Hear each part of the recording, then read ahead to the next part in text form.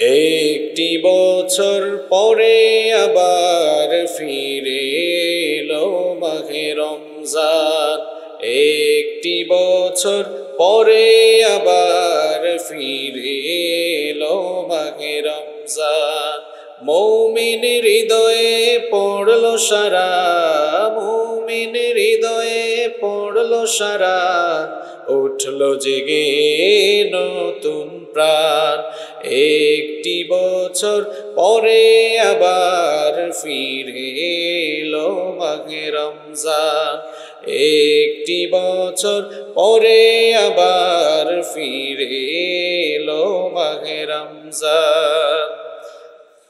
আল্লাহ তালার তরে রোজা পালন করো হে গুণাগার নিজের হাতে দিবেন তিনি সিয়াম, সাধনার পুরস্কার, আল্লাহ তালার তরে রোজা পালন করো হে গুণাগার নিজের হাতে দিবেন তিনি সিয়াম, সাধনার পুরস্কার, রমজানের এই রোজা পালন আল্লাহ তালার ফরমান। একটি বছর পরে আবার ফিরে এলো মাঘে রমজান। একটি বছর পরে আবার ফিরে এলো মাঘে রমজান। মৌমিন হৃদয়ে পড়ল সারা, মৌমিন হৃদয়ে পড়ল সারা। উঠল জেগে নতুন প্রাণ, একটি বছর পরে আবার ফিরে এলো মাঘে রমজান। একটি বছর পরে আবার ফিরে এলো মাঘে রমজান। রমজানেরই মাসে প্রভু সত্য পথে গর্ব জীবন বিপদ আপদ থাকবে না যে। ঠিক মতো হয় যদি রোজা পালন। রমজানেরই মাসে প্রভু সত্য পথে গর্ব জীবন, বিপদ আপদ থাকবে না যে। ঠিক মতো হয় যদি রোজা পালন। রমজান সে তো ঢাল স্বরূপ, হৃদয় ভরে গাও তার গান। একটি বছর পরে আবার ফিরে এলো মাঘে রমজান। একটি বছর পরে আবার ফিরে এলো মাঘে রমজান। মৌমিন হৃদয়ে পড়ল সারা, মৌমিন হৃদয়ে পড়ল সারা। উঠল জেগে নতুন প্রাণ। একটি বছর পরে আবার ফিরে এলো মাঘে রমজান। একটি বছর পরে আবার ফিরে এলো মাঘে রমজান। একটি বছর পরে আবার ফিরে এলো মাঘে রমজান। রামাদানের মাস আমাদের সামনে সমাগত হয়েছে। রামাদানের এই মাসটিকে যদি আমরা কাজে লাগাতে চাই, এই মাসের বারাকা যদি আমরা হাসিল করতে চাই, তাহলে আমাদের প্রত্যেককেই রামাদান আসার আগেই পরিপূর্ণ প্রস্তুতি নিয়ে ফেলতে হবে। মাঝে মাঝে আপনাদের বাসায় গেস্ট আসে কিনা? কথা কন না কেন? মেহমান আসে না? গুরুত্বপূর্ণ কোনো মেহমান আসলে আপনি কি মেহমান আসার আগে প্রস্তুতি নেন, নাকি মেহমান আসার পরে প্রস্তুতি নেন? মেহমান আসার আগে প্রস্তুতি নেয়। দেখা যায় মেহমান এসে যেই রুমে থাকবেন, রুমে নতুন বেডশিট, রুমটাকে সুন্দর করে ক্লিন করবে, নতুন বেডশিট বিছাবে, ওয়াশরুম ক্লিন করবে। মেহমানের জন্য যা যা করা দরকার বাসার ভেতরে সব করবে। মেহমানের জন্য ভালো বাজার সাজার করে নিয়ে আসবে। ভালো ভালো আইটেমের খাবার দাবার, অনেক মেনু থাকবে। অর্থাৎ মেহমান আসার আগেই আপনি সব প্রস্তুতি সম্পন্ন করে রাখেন। রামাদানের মাস হচ্ছে বছরের সবচাইতে শ্রেষ্ঠ মাস। এই রামাদানের মাস আপনার সামনে আসতেছে। মেহমান আসার আগে আপনি প্রস্তুতি নেন।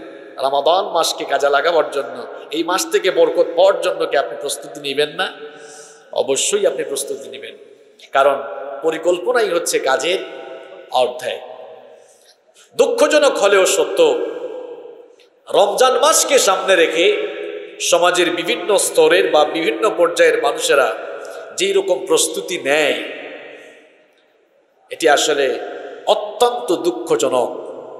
রমজান মাসের প্রস্তুতি তো এমন হওয়ার কথা ছিল না। আমাদের দেশের বিভিন্ন স্তরের বিভিন্ন পর্যায়ের মুসলমানরা রমজান আসার আগে কেমন প্রস্তুতি নেয় দেখেন তো?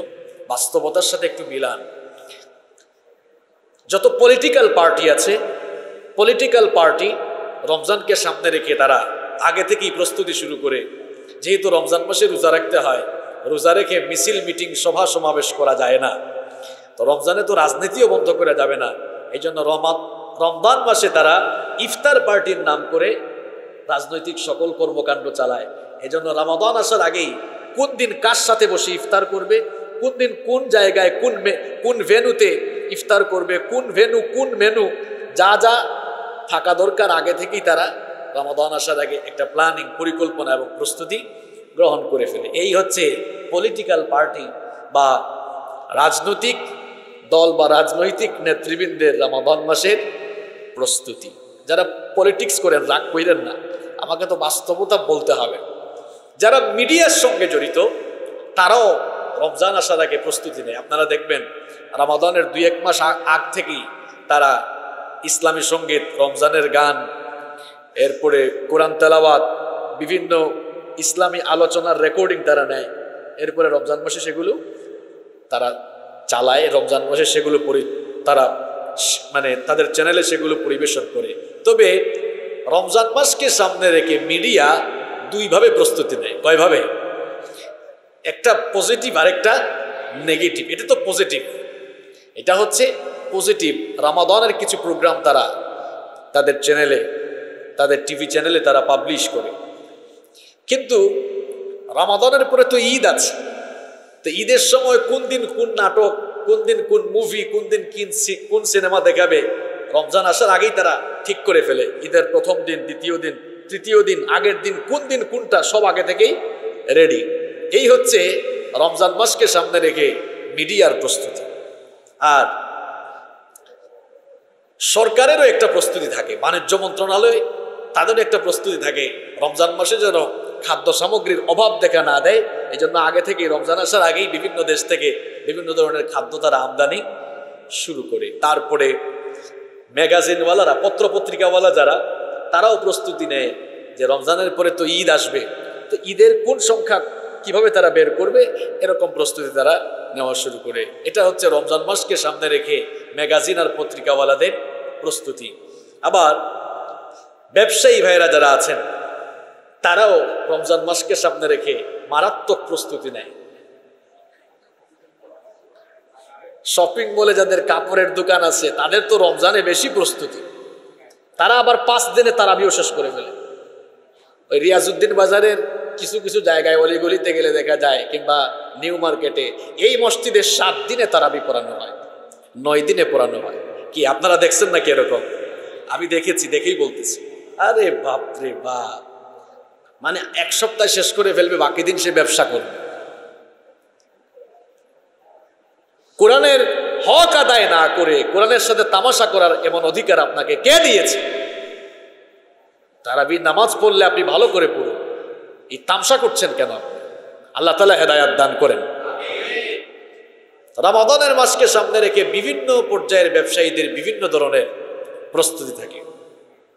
যাদের ভ্যারাইটিজ স্টোর কাঁচামালের দোকান আছে, মুদি দোকানদার যারা, প্রত্যেকের আলাদা আলাদা প্রস্তুতি। মুদি দোকানদার ভাইয়েরা যারা, সবাই না, কেউ কেউ আছেন, রমজান মাস আসলে দাম অটোমেটিক বাড়ে কেন? সিন্ডিকেট করে আগে থেকেই তারা অতিরিক্ত খাদ্য গুদামজাত করে রেখে দেয়, যেন রমজান আসলেই দাম বাড়ানো যায়। এমন ব্যবসায়ীদের জন্য লানত। রমজান মাস আসলে এরাবিয়ান কান্ট্রিগুলোতে দেখা যায় দাম কমে, আর আমার দেশে দাম বাড়ে। রমজান মাসের ইজ্জত দিয়েছেন স্বয়ংকে। রমজান মাসকে আপনি আর কি ইজ্জত করলেন? দাম কমাতে না পারেন, অন্তত ব্যালেন্স রাখা দরকার ছিল। ব্যালেন্সও রাখছেন না। সিন্ডিকেট করছে অনেকে। করে কি করে না? এটা তাদের প্রস্তুতি। আর কাপড়ের দোকানদার যারা, তারা তো রমজানের আগে থেকে একেবারে কাপড় চুপড় এনে ঈদের বোনাসের সাইনবোর্ড লাগাইয়া তারা আগে থেকেই রমজানের প্রস্তুতি শুরু করে দেয়। এরপরে খাদ্যের দোকানদার যারা, তারা ছোলা, মুড়ি, তারপরে আপনার বেসন, আটা, ময়দা, চাল, যা যা লাগে তারা আগে থেকেই দোকানে ফিল করে রেখে কিংবা গুদামজাত করে রেখে যাতে দাম বাড়ানো যায়, আগে থেকেই তারা রমজানের জন্য প্রস্তুত হয়ে যায়। আপনারা কি করেন? রমজান মাসের প্রস্তুতি আপনারা কেমনে নেন? আপনাদের অনেকের প্রস্তুতি হলো যে রমজান মাস আসার আগে তেলের দাম বেড়ে যেতে পারে, তেল আগে কিনে ফেলতে হবে, তেল, চাল, ডাল, হুম, এরপরে কি জানি বলে? বেসন, হুম, চিনি, ছুলা, আটা, ময়দা যা লাগে আপনারা এগুলো কেনার জন্য মরিয়া হয়ে যান। প্রত্যেকদিন বউর সাথে বসে মিটিং করে। দেখো তো লিস্টে কোনটা বাকি আছে? কোনটা লাগবে কোনটা লাগবে না? মানে প্রস্তুতি দেখে মনে হয় রমজান মাস আসলে খাওয়ার জন্য আসছে, ত্যাগের জন্য আসেনি। ঠিক কিনা এই হচ্ছে সমাজের বিভিন্ন পর্যায়ের, বিভিন্ন স্তরের মানুষের রামাদানকে কেন্দ্র করে রামাদানের প্রস্তুতি। আহ! রামাদানের প্রস্তুতি তো এমন হওয়ার কথা ছিল না। রামাদানকে সামনে রেখে তো একজন মোমেন, একজন ইমানদার, ভিন্ন ধর্মী, ভিন্ন রকম পরিকল্পনা নিবে। কারণ যে রমজান মাস এসেছে, ওই রমজান মাস হয়তো আর সে জীবনেও নাও পেতে। তার অনুভূতি তো অন্যরকম হওয়ার কথা ছিল। তার হৃদয়টা পুলকিত হওয়ার কথা ছিল। তার অন্তরে এক ধরনের আনন্দ, উচ্ছ্বাস প্রকাশ হওয়ার কথা ছিল। সেটা না হয়ে আমরা এই আলতু ফালতু কাজ করছি। আল্লাহ তাআলা আমাদেরকে হেদায়াত দান করেন। রামাদান মাসের বরকত আপনারা চান কি চান না? যারা বললেন না, রামাদান মাসের বরকত আপনারা চান কি চান না? এই রমজান মাসে আল্লাহ তালার পক্ষ থেকে মাগফেরাত চান কি চান না? রমজানের মাধ্যমে নাজাত চান কি চান না? যদি চান, রামাদান চলে আসতেছে। আর মাত্র সতেরো আঠারো দিন বাকি আছে। রমজান শুরু হওয়ার আগেই প্রস্তুতি নিয়ে ফেলতে হবে। তাবরানের বর্ণনায় হাদিস এসেছে। রসুল করিম সাল্লাল্লাহু আলাইহি ওয়াসাল্লাম বলছেন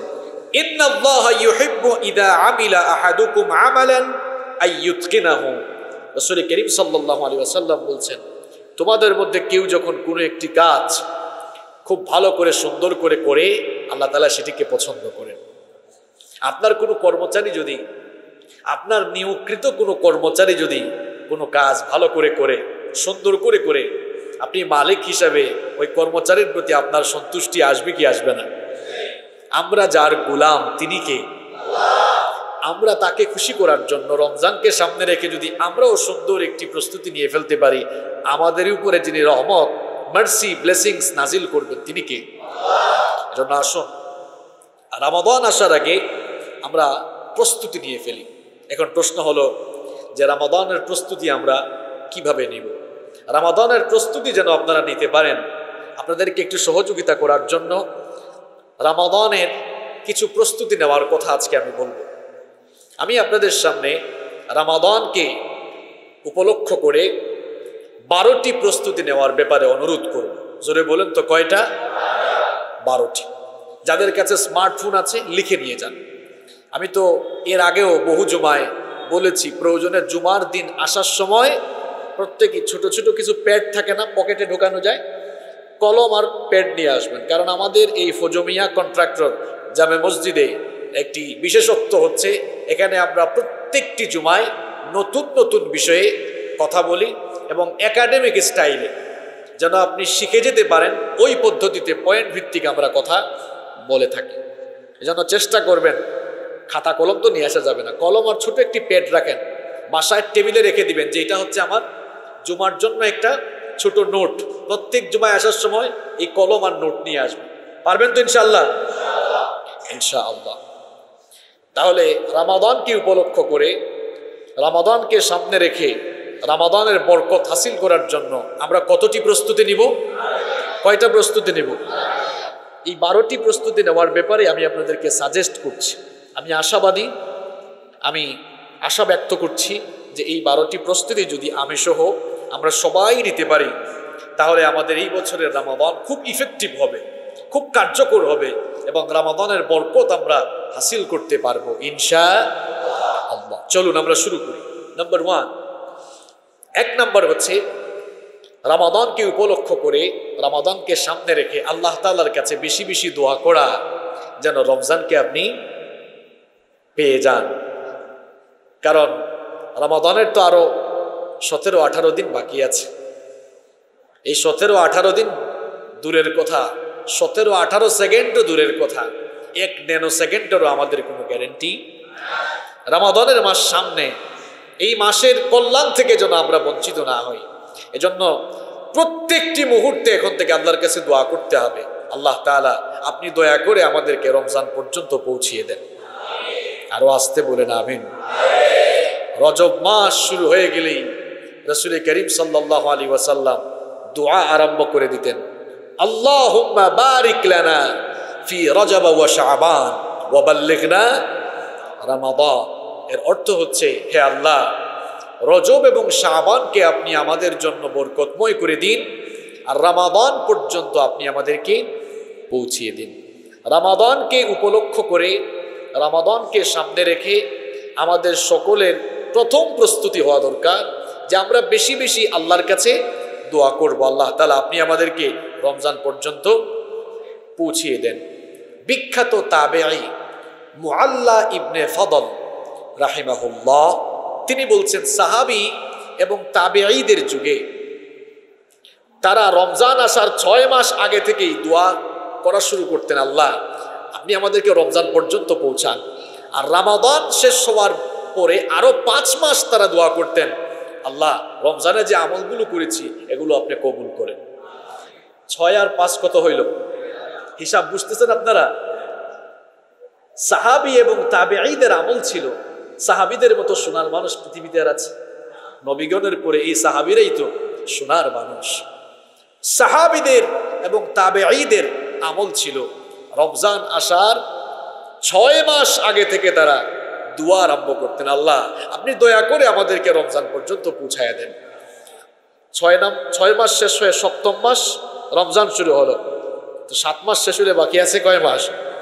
বাকি পাঁচ মাস দোয়া করতেন, আল্লাহ, রমজানে যে আমলগুলো করেছি, এগুলো আপনি কি করেন? সম্মানিত মুসল্লিবৃন্দ, তাহলে রামাদানকে উপলক্ষ করে আমাকে আপনাকে যে প্রস্তুতিটি সবার আগে নিতে হবে, সেটি হচ্ছে বেশি বেশি আল্লাহর কাছে দোয়া করা। আল্লাহ তাআলা যেন আমাকে, আপনাকে, আমাদের সকলকে রমজান পর্যন্ত দয়া করে পৌঁছে দেন। সবাই আওয়াজ ছেড়ে দিয়ে বলেন, আমিন। তাহলে এক নম্বর প্রস্তুতির কথা কি মনে থাকবে? এক নম্বর প্রস্তুতি হলো বেশি বেশি। সবাই বলেন, বেশি বেশি। নাম্বার টু দুই নম্বর হচ্ছে রামাদানের মাস যেহেতু সবচেয়ে সম্মানিত এবং মর্যাদা সম্পন্ন মাস, এই মাসের বরকত পাওয়ার জন্য নিজেকে বরকত লাভের উপযোগী বানাতে হবে। উপযোগী কেমনে বানাবেন? তাও বা ইস্তেকভার করে গুনাহের জন্য আল্লাহর কাছে মাফ চেয়ে নিজেকে আল্লাহর ক্ষমা লাভের উপযোগী বানিয়ে ফেলতে হবে। এই জন্য রামাদান আল করিমকে উপলক্ষ করে আমাদের প্রত্যেকের দুই নাম্বার যে প্রস্তুতি হওয়া দরকার সেটি হচ্ছে বেশি বেশি আল্লাহ সুবহানাহু ওয়া কাছে তাওবা এবং ইস্তেকভার করা। তাওবা সব সময় করা উচিত, প্রত্যেকটি মুহূর্তে করা উচিত। কারণ আমাদের চিরদুশ্মন শয়তান সব সময় আমাদেরকে ওয়াসওয়াসা দিয়ে গুনাহের দিকে ধাবিত করে দিতে চায়। ভুল করা একটি মানুষের স্বভাব, ভুল মানুষ করতেই পারে। কিন্তু ভুল করে ভুলের উপরে টিকে থাকা, এটি মানুষের স্বভাব নয়। এটি হচ্ছে শয়তানের স্বভাব। কার স্বভাব? শয়তানের স্বভাব।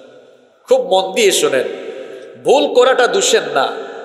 ভুল করে ভুলের উপর থাকা হচ্ছে দোষের।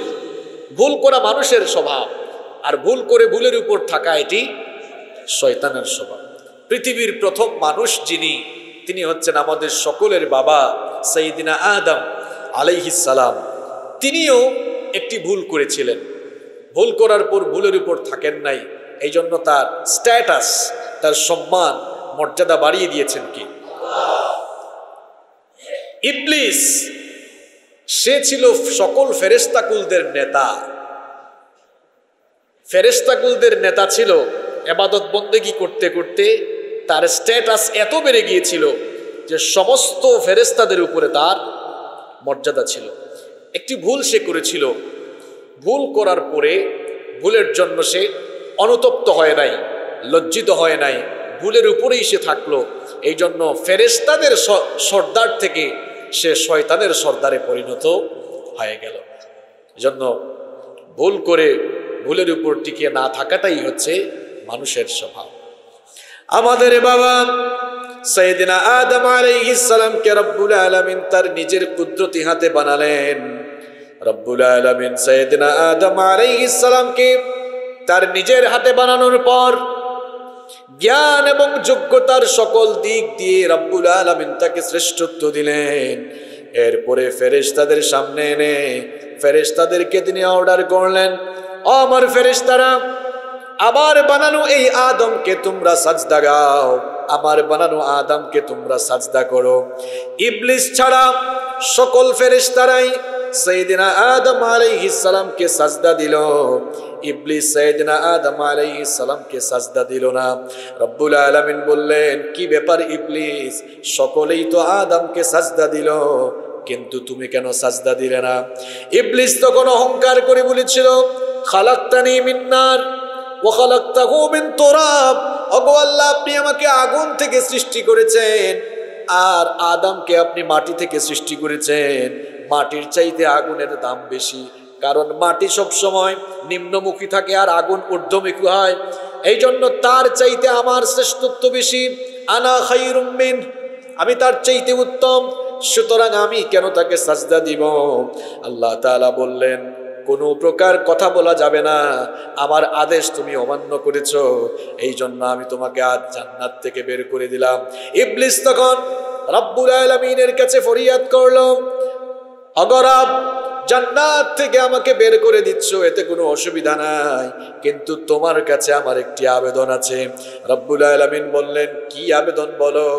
ইবলিস তখন বলেছিল, কোরআনুল করিমের সাত নম্বর সুরা, সুরতুল আরাফ। কোরআনুল করিমের সাত নম্বর সুরা, সুরতুল আরাফের চোদ্দ নম্বর আয়াত থেকে রব্বুল আলমিন বললেন ইবলিস তখন আল্লাহর কাছে অ্যাপ্লিকেশন করে বলেছিল قال أنظرني إلى يوم يبعثون সে বলেছিল আল্লাহ আপনি আমাকে ডে অফ রিসারেকশন পুনরুত্থান দিবস পর্যন্ত কামত পর্যন্ত অবকাশ দিন আল্লাহ তালা বললেন ঠিক আছে যা তোর অ্যাপ্লিকেশন কবুল করলাম ইন্নাকা মিনাল মুনজারিন তোকে কামত পর্যন্ত অবকাশ দেওয়া হলো সুযোগ পাইলে যা হয় আর কি এই সুযোগ পেয়ে ইবলিস এবার বলল قال فبما أغويتني لأقعدن لهم صراطك المستقيم ثم لآتينهم من بين أيديهم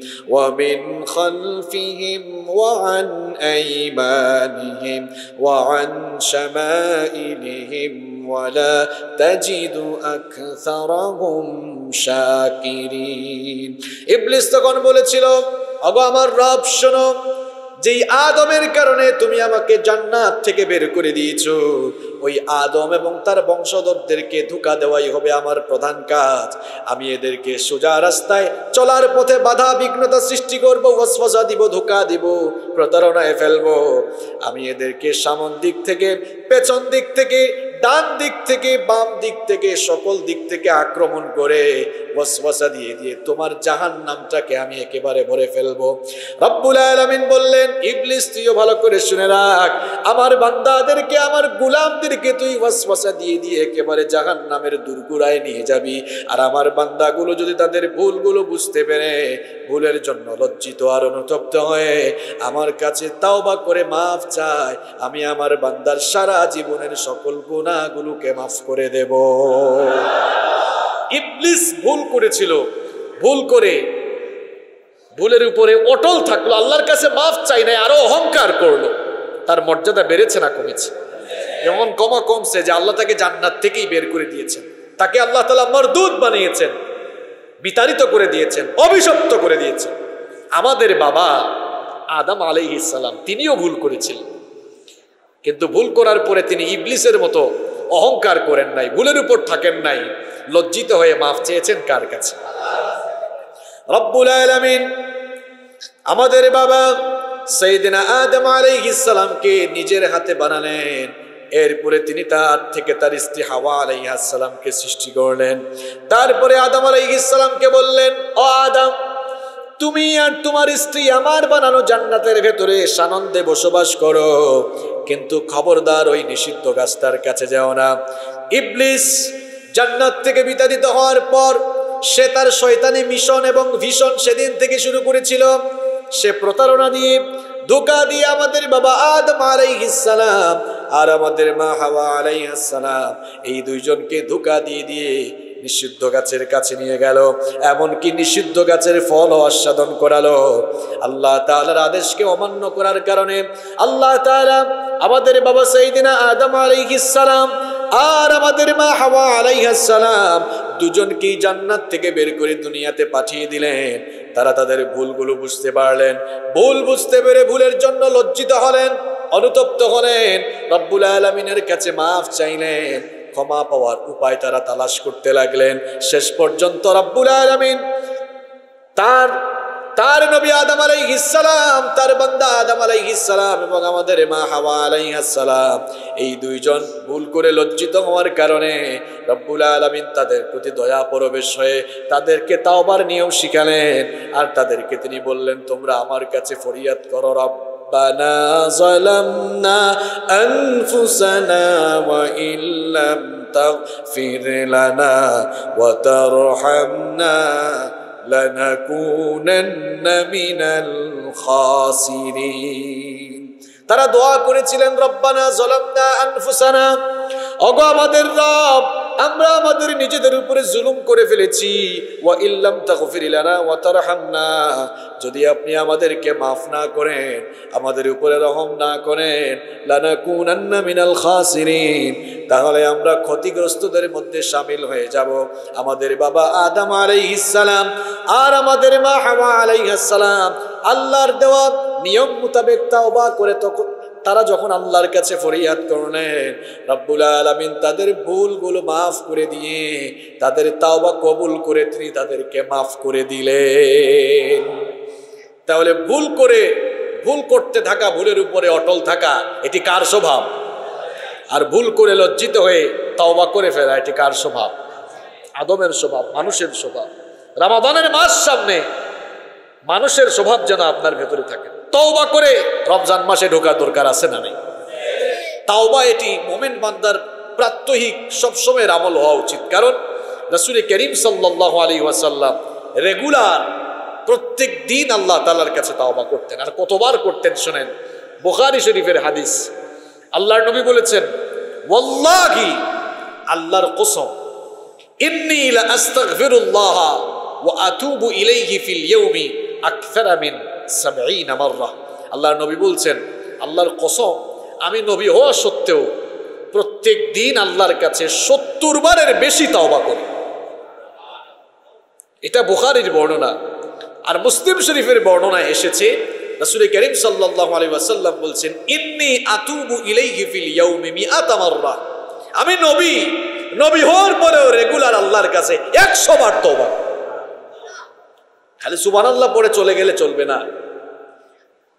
নবীজি যার জীবনে গুনাহের কোনো ছিটে ফুটাও নাই, জন্ম থেকে নিয়ে অফাত পর্যন্ত নবুয়তের আগেও মাসুম পরেও, যার জীবনে গুনাহের কোনো দাগ নাই, গুনাহের কোনো ছিটে ফুটাও নাই, নবী হওয়া সত্ত্বেও তিনি সত্তর বার, একশো বার তবা করতে পারেন। আর আপনি তো গুনাহগার মানুষ, আমি আপনি গুনাহ করি সব সময় আমি আপনি প্রত্যেক দিন তওবা করি কতবার, আর করা উচিত ছিল কতবার? নিজের বিবেককে প্রশ্ন করি। একবারও তো তওবা করতে মন চায় কুল্লু ইবনে আদম খাত্তাউন মানুষ মাত্রই গুনাহগার, মানুষ পাপ করতে পারে, কিন্তু এই ভুল করা, গুনাহ করা, পাপ করা মানুষদের মধ্যে আল্লাহর কাছে তারা প্রিয়।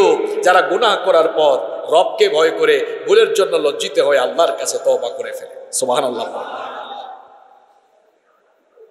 রামাদানের বরকত হাসিল করার জন্য রামাদান মাসকে পরিপূর্ণভাবে কাজে লাগাবার জন্য রামাদানের এই মাস আসার আগেই নিজেকে ক্ষমা লাভের যোগ্য বানাতে হবে। নিজেকে আগে তৈরি করতে হবে। আর এজন্য কি করা লাগবে?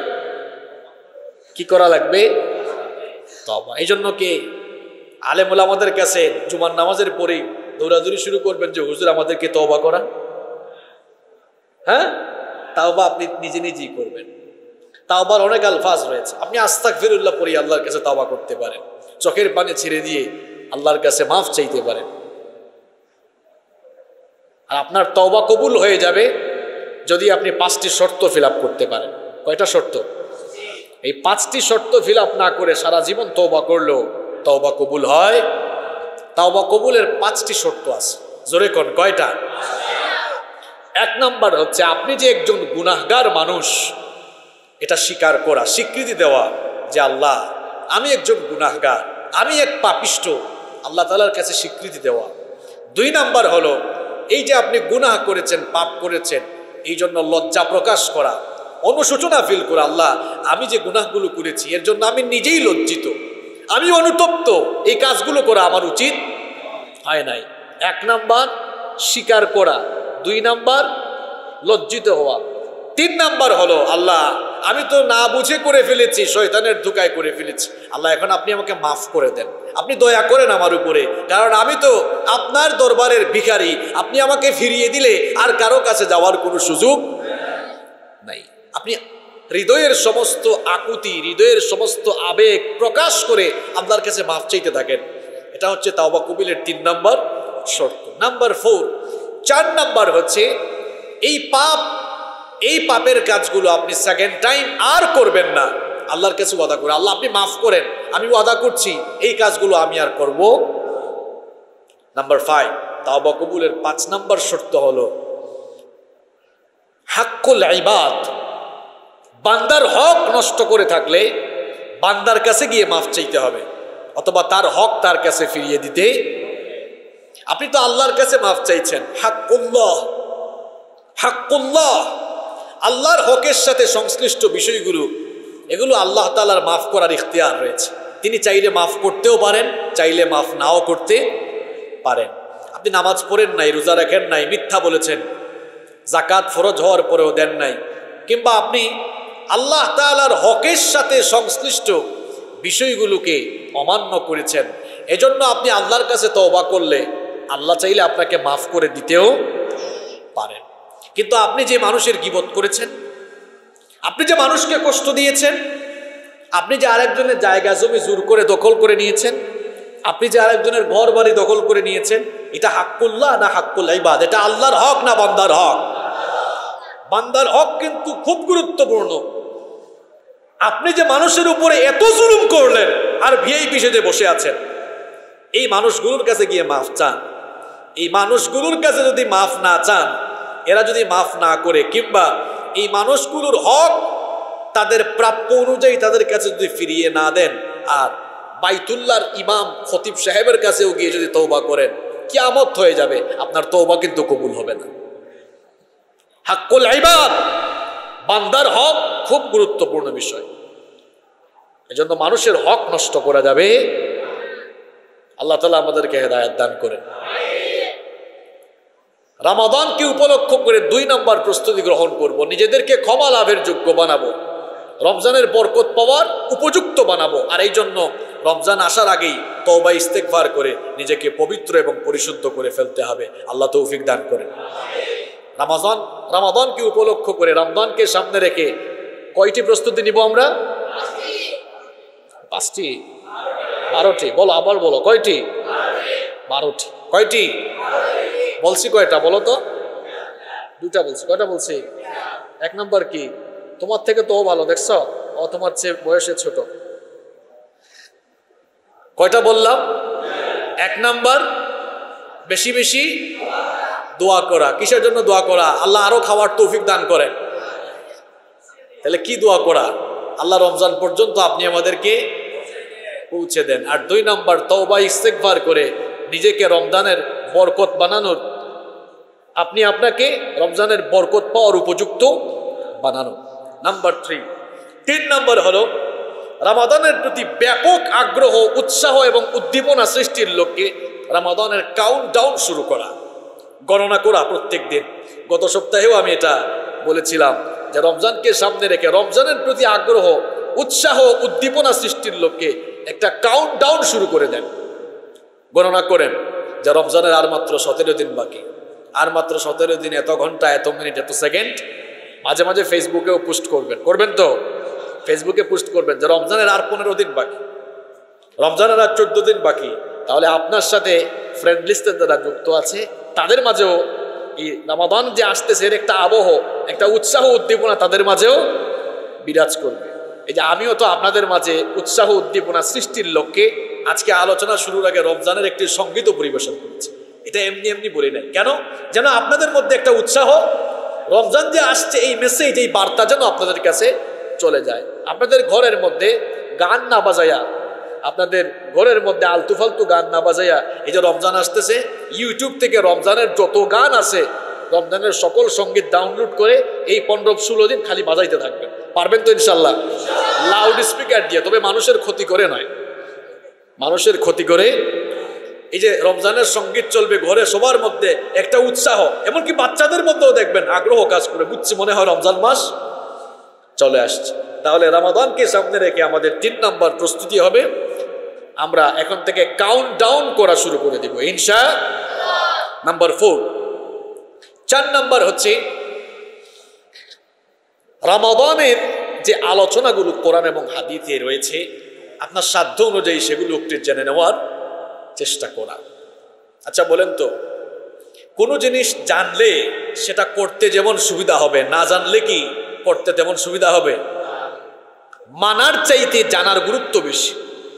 জানলে সঠিকভাবে মানা যায়, পালন করা যায়, কিন্তু না জানলে সঠিকভাবে চালানো এক লোক ড্রাইভিং জানে না গিয়ে ড্রাইভিং স্টার্ট করছে, গাড়ি চালাইলে অ্যাক্সিডেন্ট করার সম্ভাবনা আছে না নেই? ড্রাইভিং জানে, এরপরে ড্রাইভিং সিটে বসেছে। তাহলে গাড়ি সে ভালোভাবে চালাতে আজকে আপনি কীভাবে ভালোভাবে কাজে লাগাতে, কাজে লাগাবেন, এই জন্য রামাদান সংক্রান্ত জ্ঞান আপনাকে অর্জন করা দরকার। প্রত্যেকেই কোরআনুল করিমের দুই নাম্বার সুরা, সুরাতুল বাকরা এর একশত তিরাশি নাম্বার আয়াত থেকে একশত পঁচাশি নাম্বার আয়াত। এখানে পূর্ণাঙ্গ একটি রুকু রয়েছে। রামাদানের ব্যাপারে আল্লাহ তাআলা একটি পূর্ণাঙ্গ রুকু নাজিল করেছেন সুবাহান আল্লাহ পরে বাড়িতে গিয়ে এই একশো তিরাশি থেকে একশো পঁচাশি নাম্বার আয়াত পর্যন্ত বাংলা অনুবাদ ব্যাখ্যা সহ বুঝে পড়ার চেষ্টা করবেন। ইনশা আপনার কালেকশনে হাদিসের কিতাব থাকলে রামাদান, সিয়াম, কেয়াম এই সংক্রান্ত হাদিসগুলো আপনি পড়েন। রমজান মাস সামনে আসতেছে। কত টাকা, কত পয়সা, কত দিকে খরচ করেন? আজকে বিকেলে অথবা আগামীকাল একটু আন্দর কিল্লায় যান। গিয়ে লাইব্রেরিগুলোতে খোঁজ করেন। দেখি তো ভাই, ভালো কোনো লেখকের রমজান সংক্রান্ত বই আছে কিনা? এগুলো কালেক্ট করেন, ছোট ছোট বই। বাসায় এনে পড়া শুরু করেন। তাহলে রামাদানের বিভিন্ন মাস, আলা মাসাইল রামাদান এবং সিয়াম সংক্রান্ত অনেক জ্ঞান আপনি হাসিল করতে পারবেন। যখন জানবেন, মানতেও অনেক সুবিধা। প্রত্যেকেই রমজানকে সামনে রেখে কয়েকটা বই কিনবেন। কারা কারা পারবেন না? হাত তুলেন তো। এই দেখছেন, একজন পারবে না। ভুল করে হাত তুলছে। আমরা সবাই পারব, ইনশা আল্লাহ। আল্লাহ তৌফিক দান করেন। কয়টা বললাম? চারটা। নাম্বার ফাইভ পাঁচ নাম্বার হচ্ছে, এই রমজানকে আপনার জীবনের শেষ রমজান মনে করুন। এই রমজানকে আপনি আপনার জীবনের শেষ রমজান মনে করুন। রমজানকে ভালোভাবে কাজে লাগাতে হলে রমজানের পাঁচ নাম্বার প্রস্তুতির কথা আমি আপনাকে বলছি। এই রমজানকে আপনি আপনার জীবনের শেষ রমজান মনে করুন। কারণ এমনও হতে পারে, আগামী বছরের রমজান আমার আপনার নসিবে নাও থাকতে পারে। আপনি নিজেকে দেখছেন, ভালো মানুষ, সুস্থ মানুষ, আরে ভাই, কোন সময় মানুষ অসুস্থ হয়ে যায় সেটা কেউ? আপনাদের আশেপাশের অনেক লোকেরা গত বছরের রমজান মাস আপনাদের সাথে পালন করেছে। এই বছরের রমজান মাস আসার আগেই তারা কবরে চলে গিয়েছে। আছে আছে এরকম? প্রত্যেক দিন কত মানুষ মারা যাচ্ছে। এই ফজমিয়া কন্ট্রাক্টর মসজিদের মাইকে মাঝে মাঝে বিভিন্ন মানুষের মৃত্যুর খবর এলান করা হয়, ঘোষণা করা হয়। সময়ের ব্যবধানে একটি দিন আসবে যেদিন এই ফজমিয়া কন্ট্রাক্টর মসজিদ থেকে হয়তো আপনার আমার মৃত্যুর খবরও এলান করা হবে। কত মানুষের জানাজা আমরা দেই। একদিন মানুষও আমাদের জানাজা পড়বে, এতে কোনো সন্দেহ? মৃত্যু হচ্ছে মানুষের জীবনের সবচাইতে বস্তুনিষ্ঠ, অলঙ্ঘনীয় এবং অনিবার্য মহাসত্য।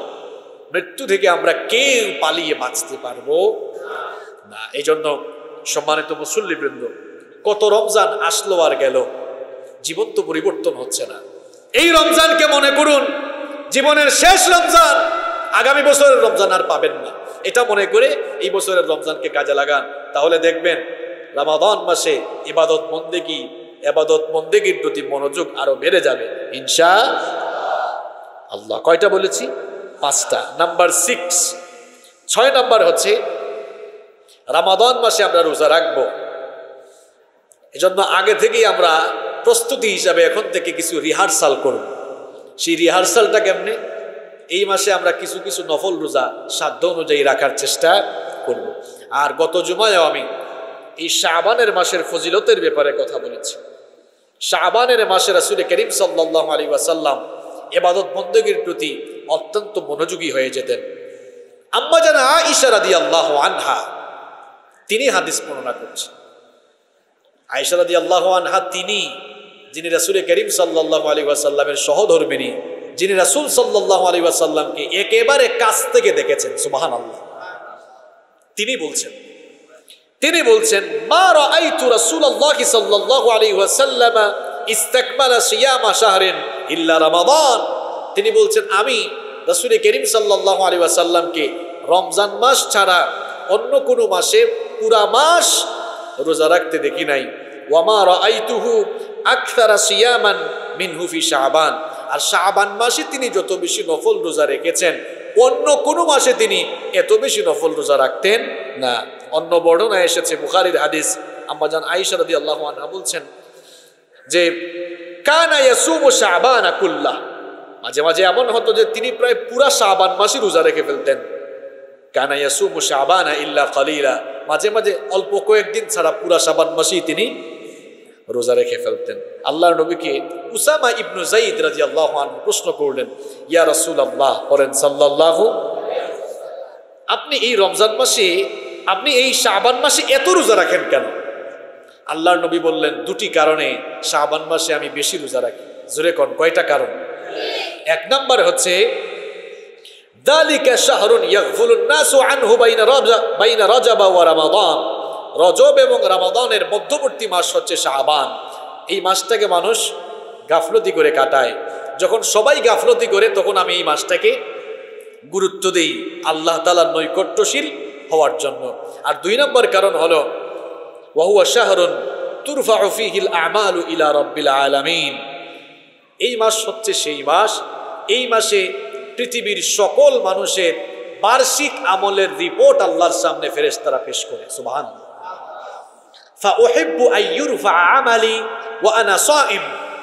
আমি পছন্দ করি আমার আমল্লামা ফেরেস্তা যখন আল্লাহর সামনে তুলে ধরবে, আল্লাহ যেন দেখেন যে যখন আমার আমল্লামা পেশ করা হচ্ছে তখনও আমি রোজাদার ছিলাম সুবাহান গত সপ্তাহে একটা এক্সাম্পল দিয়েছিলাম, মনে করিয়ে দিচ্ছি আবার আপনি একটা কোম্পানিতে চাকরি করেন আপনি একটি প্রতিষ্ঠানে চাকরি করেন, হঠাৎ করে আপনার কোম্পানির আপনার প্রতিষ্ঠানের ঊর্ধ্বতন কোনো কর্মকর্তা পরিদর্শনে এসে দেখলেন, আপনি ফোনে ব্যস্ত। কাজ রেখে আপনি অন্য কোনো, যে কোনো কিছু নিয়ে ব্যস্ত। সব সময় কাজ করেন, কিন্তু ওই পরিদর্শক এসে দেখলেন আপনি কাজ করেন না। আপনার প্রতি তার, আপনার প্রতি তার দরদ বাড়বে না কমবে? হ্যাঁ বাড়বে। কাজ না করলে বাড়বে। আর আপনি কাজ করছেন সব সময় কাজ করেন। পরিদর্শক এসে দেখলেন, তখনও কাজ করছেন। আপনার প্রতি তার আন্তরিকতা তখন বাড়বে না কমবে। আল্লাহর সামনে এই মাসে, এই শাহবান মাসে আমার, আপনার সবার আমল নামা পেশ করা হবে। ফেরেস্তারা যদি আমল নামা পেশ করার সময় বলে, আল্লাহ, আজকের দিনেও তোমার বান্দা রোজা রাখতেছে, আল্লাহ খুশি হবেন না, বেজার হবেন।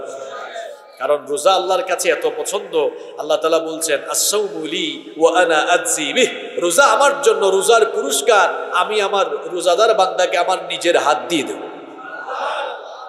জন্য আল্লাহর নবী এই মাসে বেশি বেশি নফল রোজা রেখেছেন।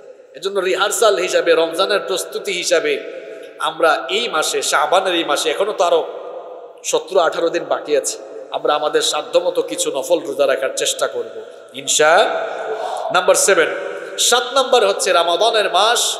এটি বছরের সবচেয়ে শ্রেষ্ঠ মাস। এই জন্য এই মাসে বেশি বেশি এবাদতের মন মানসিকতা তৈরি করতে হবে। বেশি বেশি আবাদত করার মন মানসিকতা তৈরি করতে হবে।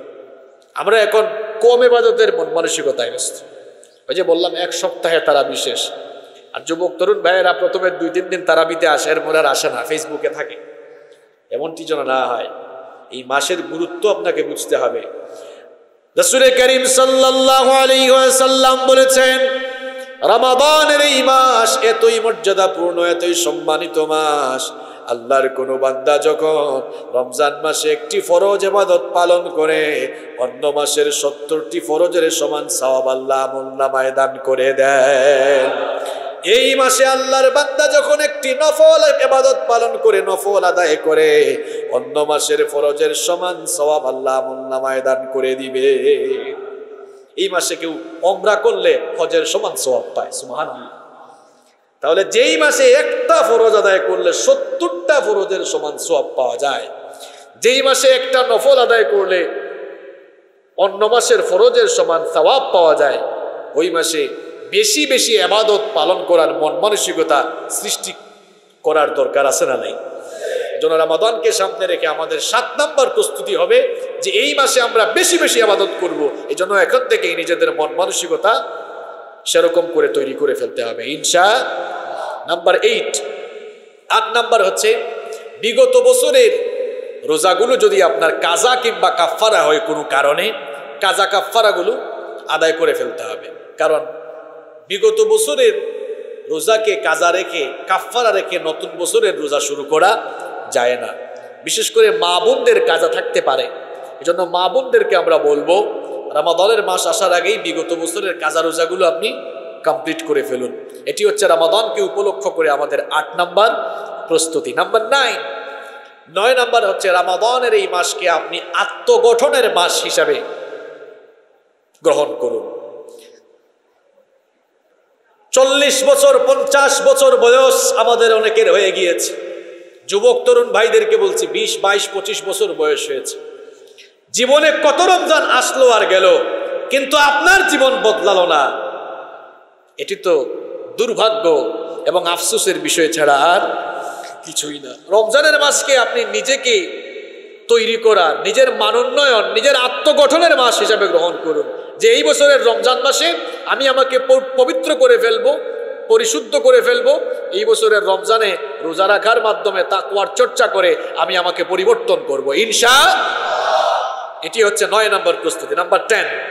দশ নম্বর হচ্ছে, রামাদানকে সামনে রেখে একটি সুন্দর রুটিন তৈরি করা। একেবারে সাহারি থেকে নিয়ে শুরু করে ইফতার পর্যন্ত, ইফতারের পর থেকে নিয়ে সাহারি রাখ পর্যন্ত চব্বিশটি ঘণ্টা কীভাবে কাটাবেন? আপনার বাসার ড্রয়িং রুমে, পড়ার টেবিলে, বেডরুমে একটা রুটিন এখন থেকে তৈরি করে লাগায় রাখেন। এই রুটিন অনুযায়ী রমজানে চলবো। আমি রাত দুইটায় ঘুম থেকে উঠবো, লিখেন, রাত দুইটা ঘুম থেকে উঠবো। এরপরে ওয়াশরুমে ঢুকবো, ফ্রেশ হয়ে দুইটা দশে আমি তাহার জুদে দাঁড়াবো। রাত তিনটায় আমি সাহারি খেতে বসবো। এরপরে ফজরের নামাজে যাব। ফজরের নামাজ থেকে এসে আমি আধা ঘণ্টা কোরআন পড়ব। এরপরে ঘুমাবো। রাত নয়টায়, সরি, সকাল নয়টায় ঘুম থেকে উঠবো। চাকরিতে যাব। ফিরে এসে আবার হাদিস পড়ব। এক কথায়, আপনি চব্বিশ ঘণ্টা কি কি করবেন? সুন্দর একটা রুটিন তৈরি করেন। ভালো ছাত্ররা রুটিন তৈরি করে পড়াশোনা করে। আর দুর্বল ছাত্ররা, ফেল করা ছাত্রদের কোনো রুটিন? আপনি রমজান মাসে যদি পাশ করতে চান, বরকত হাসিল করতে চান, রুটিন তৈরি করে ফেলবেন। ইনশা আমরা রমজানের আগের জুমায় একটু খোঁজ খবর নিব যে কারা কারা রুটিন তৈরি করছে। সবাই পারবেন তো ইনশাল্লাহ আজকে বাসায় গিয়ে শুরু করে দেবো। নাম্বার ইলেভেন এগারো নাম্বার হচ্ছে, রামাদানের মাস, শাহরু রামাদান। এটি হচ্ছে আল্লাদি উনজিলা ফিহিল কোরআন। এই মাসটি হচ্ছে শাহরুল কোরআন। এটা কোরআনের মাস। এই মাসের ইজ্জত বেড়েছে, সম্মান বেড়েছে, মর্যাদা বেড়েছে একটি কারণে। সেই কারণ হচ্ছে কোরআন নাজিল হওয়ার কারণে। ঠিক কি না? এই জন্য রামাদানকে সামনে রেখে আমার আপনার এগারো নম্বর প্রস্তুতি হবে, যারা এখনও কোরআন শিখতে পারি নাই।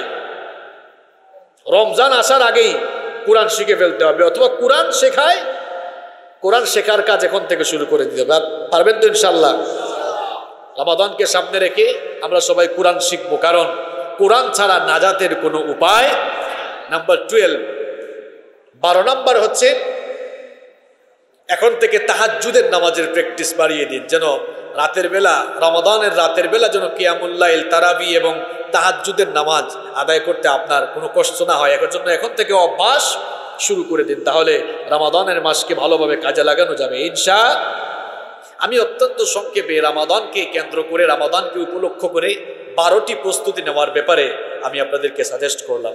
এই বারোটি প্রস্তুতি যদি আমরা নিতে পারি, তাহলে রামাদানের মাস কাজে লাগবে। হিংসা আমরা পনেরো থেকে বিশ সেকেন্ডে এই বারোটি পয়েন্ট আবারও উল্লেখ করছি।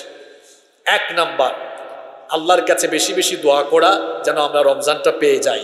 দুই নাম্বার হচ্ছে বেশি বেশি তৌবা এবং ইস্তিকভার করা। তিন নাম্বার হচ্ছে কাউন্ট ডাউন শুরু করে দেওয়া, গণনা শুরু করা। চার নাম্বার হচ্ছে রামাদন সংক্রান্ত বই, কোরআন, হাদিস এগুলো বেশি বেশি পড়া। পাঁচ নাম্বার হচ্ছে এই বছরের রমজানকে জীবনের শেষ রমজান মনে করা। ছয় নাম্বার হচ্ছে রিহার্সাল হিসাবে, প্রস্তুতি হিসাবে এই শাহবান মাসে সাধ্য অনুযায়ী কিছু কিছু নফল রোজা পালন করা। এরপরে আট নাম্বার হচ্ছে রামাদান মাসে বেশি বেশি আবাদত পালনের মন মানসিকতা তৈরি করা। নাম্বার এইট আট নাম্বার হচ্ছে বিগত বছরের। রোজা থাকলে, কাজা রোজা থাকলে কাফারা থাকলে সেগুলো কমপ্লিট করা। নাম্বার নাইন নয় নাম্বার হচ্ছে রামাদানের মাসকে আত্মগঠন এবং নিজের মানোন্নয়নের মাস হিসাবে গ্রহণ করা। নাম্বার টেন দশ নাম্বার হচ্ছে রামাদানের জন্য সুন্দর একটি রুটিন তৈরি করা। নাম্বার ইলেভেন কোরআন শেখার জন্য সিদ্ধান্ত নেওয়া। নাম্বার টুয়েলভ বারো নাম্বার হচ্ছে তাহাজুদের প্র্যাকটিস